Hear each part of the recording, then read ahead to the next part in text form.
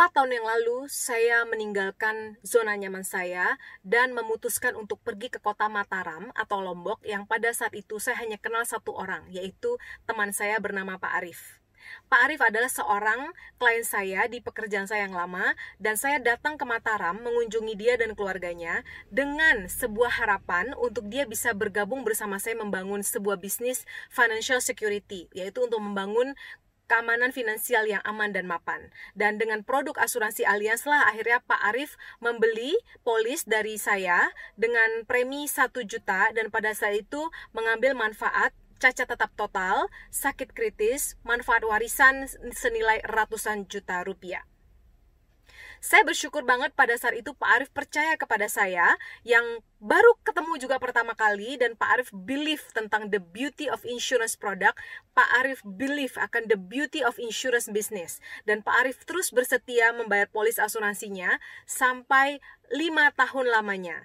Apa daya, tahun lalu ketika lebaran hari pertama, Pak Arif mengirimkan WhatsApp kepada saya dan mengabarkan bahwa dia terkena sakit jantung tanpa ada tanda-tanda Bapak Ibu, tanpa ada simptom, benar-benar hari pertama lebaran terasa sesak napas dan kemudian dibawa ke rumah sakit dan dokter menyatakan harus mengadakan pemasangan ring untuk membuka penyumbatan-penyumbatan yang terjadi.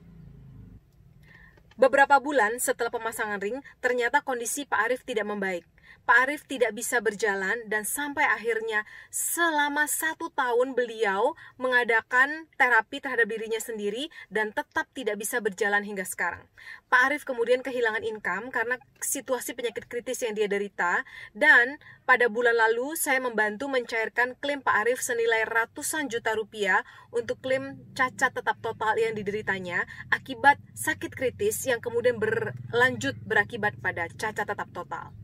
Bapak Ibu sekalian, satu hal yang paling saya syukuri dalam hidup ini adalah saya tidak pernah menyesal mengunjungi kota Mataram atau Lombok untuk bertemu dengan Pak Arif pada saat itu. Meskipun saya pada saat mau berangkat ada ketakutan, ada keraguan, kota yang saya baru pertama kali kunjungi, apakah Pak Arif juga akan menerima saya dengan baik, tapi saya bersyukur bahwa saya mengalahkan rasa takut saya, rasa nyaman saya, dan saya mengunjungi ke satu kota kecil, dan ternyata di sana Tuhan berencana lain, Tuhan mempertemukan saya dengan Pak Arif dan ternyata apa yang saya sharingkan pada hari itu itulah yang menjadi penyelamat hidup Pak Arif di beberapa tahun kemudian.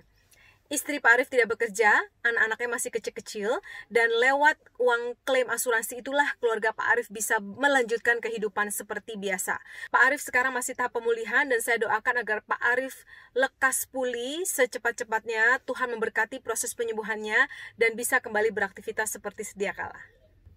Teman-teman, inilah esensi menjadi seorang life changer. Ketika orang lain tertimpa musibah, kita datang kepada mereka menjadi penyelamat, menjadi hero buat keluarga mereka, untuk keluarga mereka benar-benar bisa melanjutkan kehidupan. Jika saya tidak pernah memutuskan untuk pergi ke kota Mataram, maka pada hari itu mungkin akan lain ceritanya. Pak Arif juga jika tidak percaya pada saya dan tidak bersetia untuk membayar premi asuransi, mungkin hari ini kondisinya juga akan lain. Keluarganya akan kesusahan dalam melanjutkan kehidupan sebagaimana normalnya. Saya doakan agar Pak Arif lekas pulih dari sakitnya dan Tuhan senantiasa memberkati.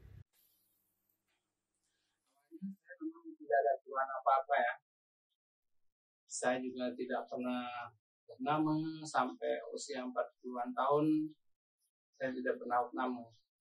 Cuman pada pertengahan Mei 2019 kemarin saya merasakan nyeri di dada dan langsung bawa ke dokter ke rumah sakit dan oleh dokter didiagnosa saya jantung koroner dan harus dilakukan tindakan berupa pemasangan ring. Ya. Ya karena sudah 75% penyumbatannya. Syukurnya saya seluruh biaya tindakan oleh dokter maupun biaya rawat inap itu semua di cover oleh Allianz. Itu saya sangat syukuri. Bahkan uh, saya karena menderita salah satu penyakit kategori kritis oleh alians itu sehingga saya dikenakan juga eh, pembebasan premi sampai usia 65 tahun itu saya syukurnya. Belakangan saya juga di diagnosa mielitis transversal sehingga seperti inilah kondisinya tidak ada yang menginginkan itu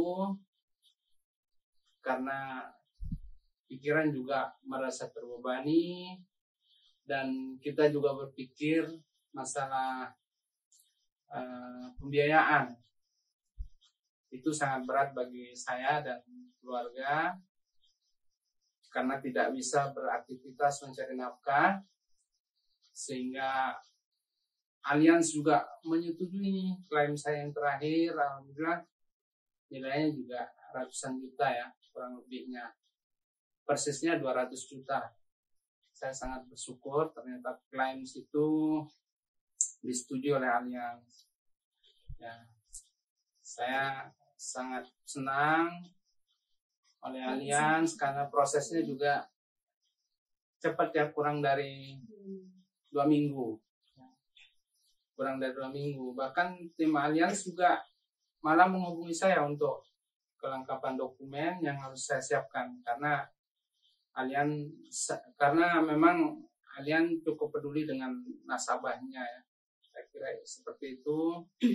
Dan karena Allianz saya menjadi tenang dan bisa melanjutkan kehidupan bersama keluarga saya dengan adanya klaim itu saya juga menyampaikan terima kasih uh, kepada Ibu Christine sebagai agen saya di Allianz yang telah banyak sekali membantu dan memperhatikan saya dan keluarga sejak menjadi nasabah di Allianz.